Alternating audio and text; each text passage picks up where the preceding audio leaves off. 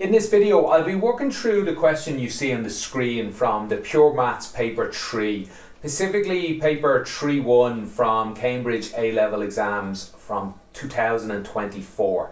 If you're looking for any other question from this paper, you should find a playlist in the description below.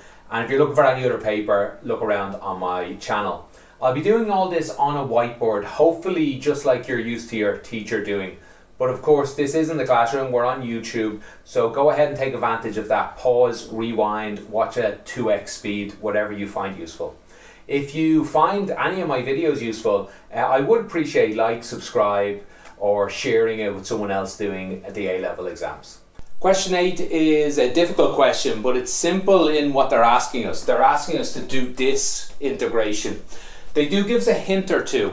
Um, because integration with um, with trigonometry and all, all often involves substitution, and it's it can be really difficult to figure out uh, what do you put in as your substitution, because some things later cancel out and all. They have been nice to us. They've told us uh, to use a substitution, so we think it'll probably work. U is equal to one minus sine x. So basically, if we replace, uh, well, this here with a U, we, we, we sort of have to trust that, that something will happen to cancel out the rest of the X's in it, or maybe replace them with U's. That's usually what happens. It's a bit difficult. I'll show you when it happens in this. Um, but really, we're just going to substitute this in. We're going to do a long and difficult uh, integration question. So, so get ready for that. Um, first thing, let's do a bit of the substitution. Um, let's do it over, as far over as we can to leave more room. Uh, we always want to basically differentiate u because we have a dx and we want to replace it with a du. So we'd get du dx is equal, um, the derivative of sine is cosine, so it's a minus cosine just.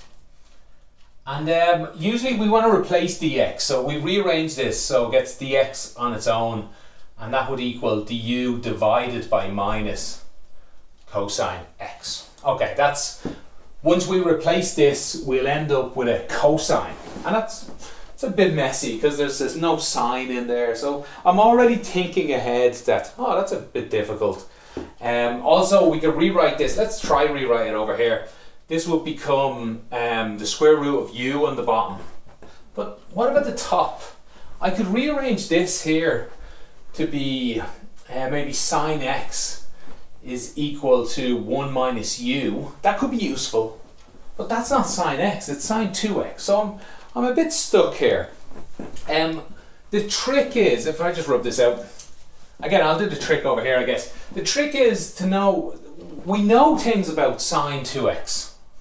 Sine 2x, uh, it's given in our uh, formula table, our list of formulae. Um, sine 2x is equal, I'll just double check I get them right, is equal to 2 sine x cosine x. Now at this point, when I see that, it all starts clicking a little bit. Sine x, I know how to replace sine x with u. That's easy. Cosine x, ah, I, I, I already see that's going to cancel later on in the question. So that's it, that's the, all the tricks we needed. Um, I guess they gave you the first trick, and we're going to need this. And I guess you could say later on to replace that, I need this trick. That, that's all the tricks. The rest is just going to be long, messy maths. So let's get into it. Uh, let's rewrite this equation. Uh, the integral of, instead of sine 2x, I'll write 2, and instead of sine x, I'm going to write this guy, 1 minus u, uh, cosine x, all over Instead of um, 1 minus sine x, I'll put u in, obviously. Instead of square root, I'll actually write in a half. I, I hate using square roots in integration and differentiation. I'll use a half. Instead of dx, I will use du divided by minus cosine x. Okay, um, and oh, one last thing. What numbers go here? You can leave this blank until the very end and change everything back into x and put these numbers in. That's, that's one way to do it. Another way to do it is we'll stay doing the rest of the, question. I'll do it, this is the way I'll do it. I'll keep you, uh, all the, these, this cosine cancels by the way. I'll keep all these u's in the question and I'll never use these guys again. I'll make up new numbers. So how do I do that? Uh, I'll do it over here. x is equal to pi from here. But uh, u is equal to 1 minus, so sine of, uh, sine of pi. Sine of pi is 0, so u is equal to 0. Instead of x of pi, u is 0.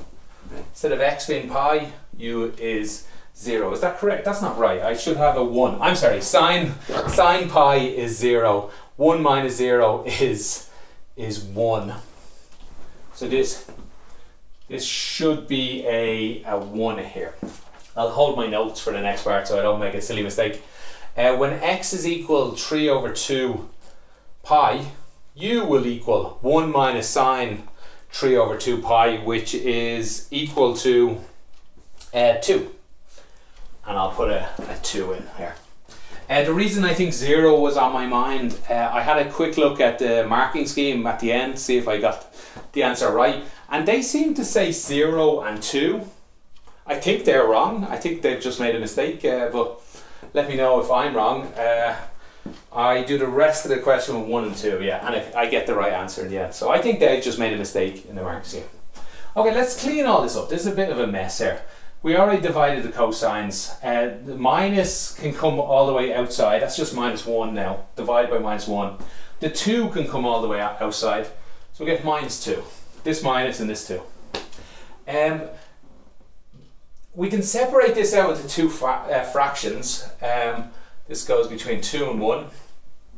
Uh, 1 divided by square root uh, u square 1 divided by the square root of u or I can write that as u to the power of minus a half. Okay, so I'm going to bring it up, up a power, up uh, to the denominator. And then uh, minus u divided by u to the power of a half is just u to the power of a half. You see that goes into that, u to the power of a half times the u. Okay, so instead of this big mess of a question, we have this two fairly simple integration questions. So I'll do one. I'll do this integration next. I'll, that'll be minus two multiplied by what's the integral of this? We add one onto the power, so that becomes u to the power of a half, and then we divide by the new power. Uh, divide by a half is like multiplying by two. Um, minus we add one onto this. That's u to the power of three over two. Divide by three over two. It's like multiplying by two over three and we still need to evaluate this between 1 and 2. I'll do that uh, in this area here. Okay, so this is equal, again, minus 2 is left alone, multiplied by, I'm going to fill in 2 first. So that's 2 square root 2 minus um, 2 over 3. 2 to the power of 3 is 8.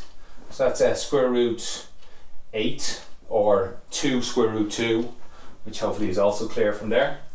Um, minus, I'm going to fill 1 in now, minus 2 multiplied by square root 1 is 2. Minus minus, when I put 1 in, is plus 2 over 3. Okay, let's clean up everything in the side. Let me, yeah, instead of square root of 8, let's put in 2 square root 2. Same thing. Yeah, that's a big 2, by the way. A big 2 there. Um, okay, well, how many square root 2's do we have? We have 2 square root 2's, take away 4 over 3, this 2 by 2 is a 4, 4 over 3 square root 2's, so that leaves, um, if I'm right, uh, 2 over 3 square root of 2's, with minus 2 outside still. And uh, what about just the whole numbers? Uh, minus 2 plus uh, 2 over 3, that is leaves minus 4 over 3, if I'm correct multiply minus 2 into both of them. We'll put the positive number first, so minus by minus gets uh, 8 over 3. Um, multiply this in, we get minus 4 over 3 square root 2. Um, very messy these questions, so let me just double check that is the correct answer. Uh, yeah, that's the answer I got, and I checked with the marking scheme. Um, a couple of things you could have done different. You could have got all the way down to this line here, and instead of 1, 2. You could have replaced u back with sine 1 minus sine x. Put that in there, put it in here, and kept these two numbers. It would have just mess, made the end a little messier. You would have got different parts here, but um, after, a few, after a while you would have got out to something like this, something like this. You would have got out to uh, the same final answer. Um, let me know if I made any mistakes there. Let me know if I didn't explain something that well. If you have any follow up questions, I'll do my best to answer. Uh, thanks for watching. Have a great day.